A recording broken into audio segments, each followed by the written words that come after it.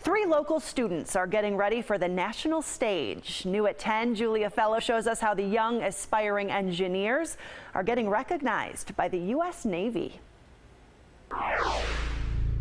Three young students are putting their math and science skills to work. They created their own mini submarine. Meet the USS Macaroni.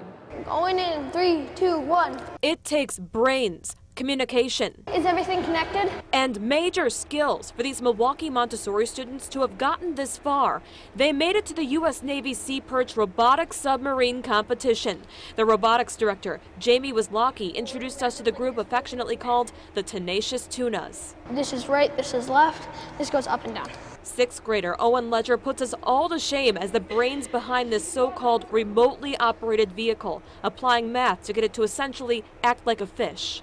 It had different lengths of PVC, different connector pieces. Our fearless captain is Alexander Salik. He moves the macaroni through underwater obstacles faster than Nemo could. I guess it's from hand-eye coordination from just playing games. And Samantha Stahl is the system's manager. She guides the power cord through the tightest spots. You can't have it too tight, but you can't have it too loose because then it'll get stuck in the motors. A testament of perseverance and teamwork. The team is now headed to Louisiana to compete against 58 middle schoolers from across the country. No matter what the outcome, their parents are very proud. Reporting on the west side, Julia Fello, today's TMJ4. And they are the first group from Wisconsin to ever make it to the U.S. Navy Robotic Submarine Competition. Good for them.